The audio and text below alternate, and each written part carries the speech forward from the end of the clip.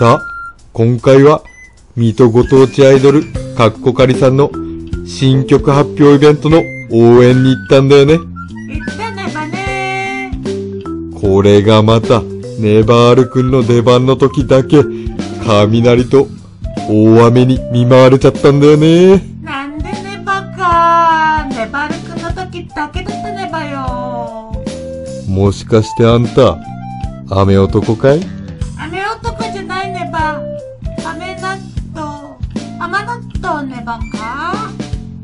はいはい。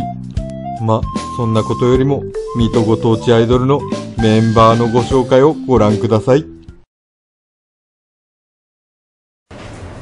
皆さんこんにちは。水戸ご当地アイドルかっこかりのさゆみんです。これから夏に向けて皆さんと一緒にもっともっと暑い夏にしたいと思うので私たちについてきてください。よろしくお願いします。応援してください。水戸ご当地アイドルかっこかりのマリナーコビです。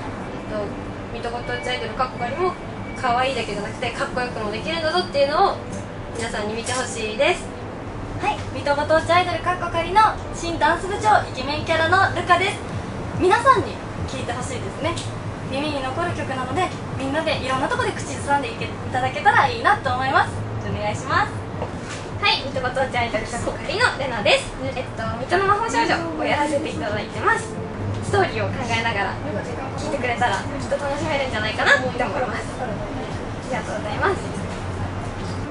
皆さんこんにちは水戸ご当地アイドルかっこかりの15歳こまりですよろしくお願いします私もその新曲すっごくお気に入りなので皆さんも好きになってほしいですで応援よろしくお願いしますチャラッチャー水戸ご当地アイドルかっこかりの不思議少女リーリンです。夏に東京アイドルフェスティバルという大きいイベントがあるんですけど、そこに向けてさらにこの曲で東京に進出して、もっともっと多くの人に知ってもらいたいなと思っています。よろしくお願いします。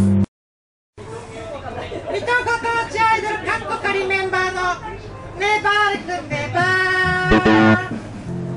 水戸ご当地アイドルかっこかりは納豆を普及させるために生まれたアイドルグルー。プネバー。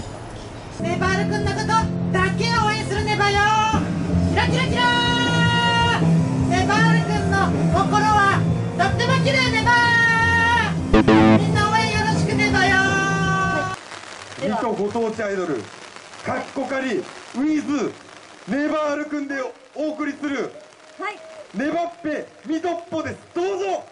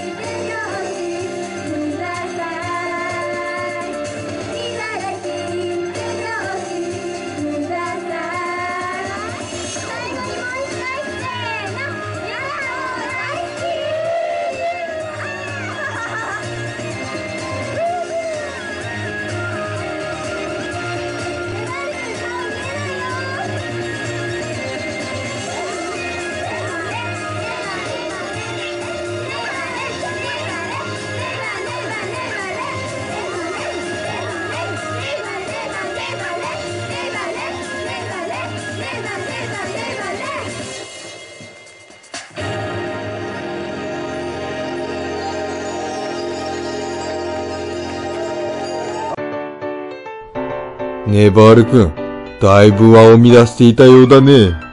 何言ってるねバカ。ねバール君は完璧だったねばね。みんなが振り付け間違ってたねばよ。なんてこと言うんだ。水戸ご当地アイドルさんに謝んなさいよ、あなた。ねバール君が謝るねバカ。そうだよ。わかったねば。ごめんねば、ごめんねばあんた、謝る気ないね。しかもその謝り方はあの、栃木の、あの、あれじゃないの。あれって何ねばか。ちゃんと言うねばよ、本当に。そっちの方が失礼ねば。いや、そりゃしょうがないよ。